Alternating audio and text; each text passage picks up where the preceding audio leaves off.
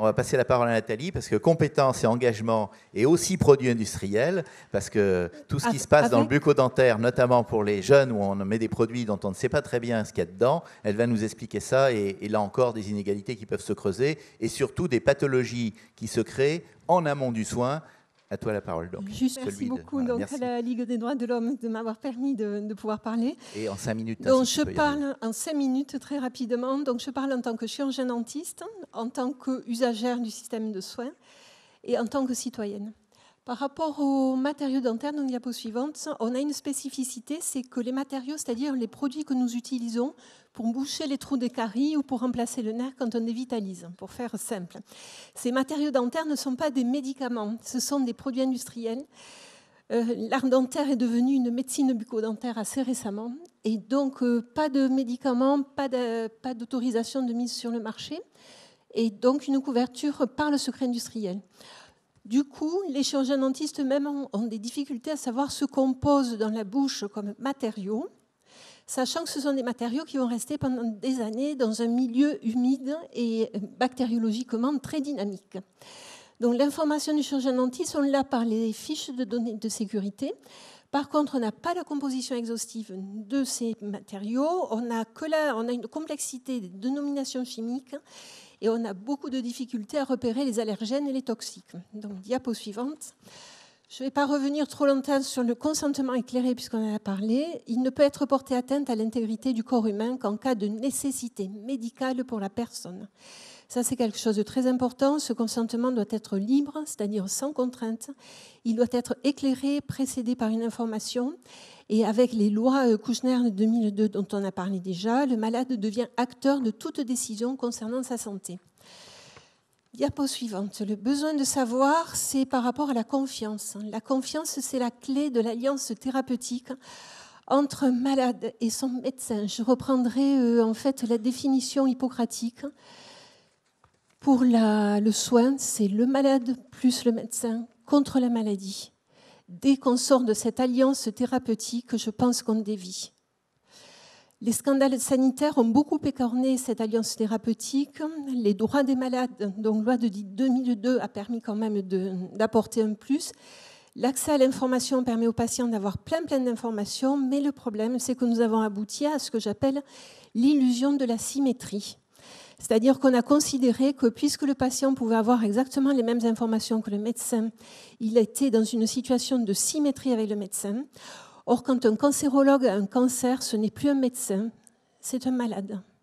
Alors pourquoi? Donc, euh, par rapport à la diapo suivante, la responsabilité de l'information, à qui appartient-elle? Est-ce qu'elle appartient à l'industriel? Il dit que lui, avec les fiches de données de sécurité, il fait le travail qu'on lui impose et il est conforme à la loi. Par rapport au chirurgien dentiste, il peut informer son patient, mais dire finalement, je ne sais pas exactement quels sont les matériaux que je vous mets en bouche. Par rapport au patient qui peut aller chercher les informations, mais quelle possibilité pour lui de cette responsabilité de l'information? Et par rapport aux politiques qui finalement autorisent ce maintien du secret industriel sur les matériaux que nous vous mettons en bouche tous les jours. Donc la diapo suivante. Responsabilité de conséquences sanitaires pour le patient. Donc, euh, je vous fais pas un dessin. Pour l'équipe de soins, ça, j'insiste un tout petit peu plus parce que dans les équipes de soins en chirurgie dentaire, elles sont de plus en plus féminines. Euh, au niveau des praticiens, 70% des étudiants sont des étudiantes maintenant. Et ensuite, par rapport au personnel soignant, enfin, qui aide euh, donc, dans les soins, ce sont les assistants dentaires qui sont à 90% des femmes. Or, on sait que dans ces produits, on a des perturbateurs endocriniens et que la période qui est la plus concernée par la toxicité des perturbateurs endocriniens, c'est la période qui est autour de la gestation, c'est-à-dire avant d'être enceinte, les premiers mois de, de notre grossesse et puis ensuite pour l'enfant petit. Et puis ensuite la responsabilité des conséquences sanitaires pour l'écosystème, c'est-à-dire la pollution. La diapo suivante. Les conséquences sanitaires sont des conséquences humaines et ce sont aussi des conséquences économiques. On a parlé tout à l'heure des pathologies chroniques qui sont devenues la première conséquence de dépenses publiques de santé. Donc vous avez trois conséquences majeures, c'est le coût des nouveaux traitements, le vieillissement et les maladies chroniques. Les maladies chroniques sont passées en tête. Et comme on a dit tout à l'heure, c'est la question de la soutenabilité des systèmes solidaires de prise en charge. Donc il y a une étude européenne qui a été faite sur cette question des soutenabilités de nos systèmes solidaires. À aucun moment dans, ce travail, à aucun moment n'a été posée la question des pathologies chroniques liées à l'environnement. C'est complètement en fait absent.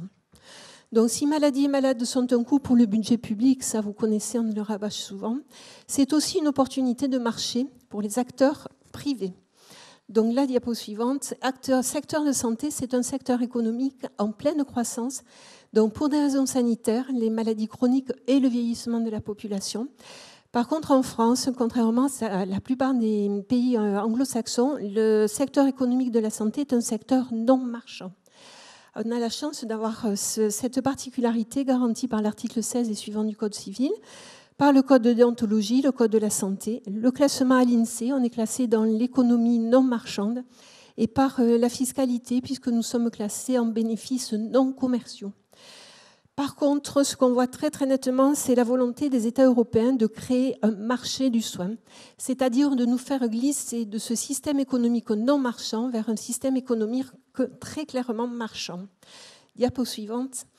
Une question donc, que j'ai posée tout à l'heure, le malade est-il un consommateur comme un autre?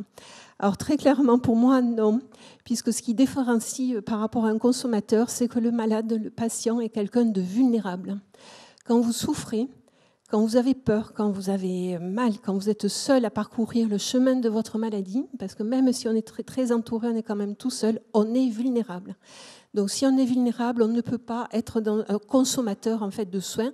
Une question souvent que je dis, c'est est-ce qu'on consomme une chimiothérapie Voilà. Le besoin vital effectivement par rapport, euh, par rapport aux soins. La notion de confiance, qui est très très importante, est-ce qu'on aura la même confiance dans un médecin qui sera un commerçant ou dans un médecin qui aura une éthique médicale Alors je sais qu'on remet souvent en question euh, nos ordres, on peut les remettre aussi, nous professionnels de santé, euh, en question. Euh, puisque euh, enfin, normalement leur travail, leur mission, c'est de pouvoir protéger et assurer aux patients que les praticiens exercent suivant un code de déontologie. C'est pas du tout de protéger les praticiens. C'est pas de la protection, les intérêts, la défense des intérêts euh, moraux et matériels de la profession. Ce sont les syndicats professionnels et absolument pas l'ordre qui doit le faire. Et puis ensuite, ben, c'est la relation humaine entre un patient et son, et son praticien, entre un malade et son médecin. Euh, c'est vrai que la relation de confiance et la relation humaine fait partie intégrante de la, de la réussite, j'allais dire, du soin. Ça peut être vers la guérison, ça peut être vers l'adaptation, ça peut être vers la mort, et cette présence-là humaine, elle est très importante jusqu'au bout. La diapo suivante, qu'en pensent les assureurs? Alors ça, c'est un petit focus que j'ai trouvé assez rigolo sur l'opinion, le journal L'Opinion. Donc Bernard Spitz, président de la Fédération française des assurances, qui avait dit euh, les assureurs, maintenant, on va plus investir dans les énergies qui sont responsables du dérèglement climatique parce qu'il nous faut payer les conséquences du dérèglement climatique. Donc on va arrêter de payer et d'investir nos fonds dans les énergies responsables. Et moi j'avais une petite suggestion à lui faire, c'est d'arrêter aussi d'investir dans les modèles d'activité humaine qui sont responsables de la crise sanitaire. Donc diapo suivante, il en reste plus que deux. Donc sur la biocompatibilité, biocompatible, ça veut dire compatible avec la vie. Une chose, on l'a dit plusieurs fois aujourd'hui, la santé n'est pas réduite aux soins. Il y a beaucoup de facteurs qui impactent l'alimentation, la pollution, le stress, les conditions de travail, de logement, donc on en a parlé. Les soins médicaux, euh, en tout cas pour moi, doivent absolument rester une économie non marchande, d'abord pour les patients. Ensuite, euh, la santé et l'économie sont biocompatibles à mon sens, mais à certaines conditions. C'est-à-dire qu'il faudrait réorienter les activités humaines vers une biocompatibilité. Par exemple, concrètement, se, demander est-ce que ce modèle d'agriculture est compatible avec la santé? Est-ce que ce modèle de transport est compatible avec la santé? Est-ce que ce modèle d'énergie est compatible avec, la santé? Et si on réorganisait notre vision de l'économie, justement le centrant sur le santé, je pense qu'il y a beaucoup de questions qui nous viendraient très facilement euh, à, voilà, à l'esprit, à la conscience. La dernière diapositive c'est pour militer pour les états généraux de la santé environnementale. Moi, en tant, que, citoyenne, les questions que je me pose, c'est quel avenir souhaitons-nous tous? Entre un cancer du sein qui se soigne et pas de cancer du sein du tout, qu'est-ce qu'on choisit? Entre un accès aux soins pour tous ou pour certains, entre un environnement vivable ou la survie, entre l'équilibre des écosystèmes ou l'adaptation technologique. Donc là, c'est encore un autre sujet.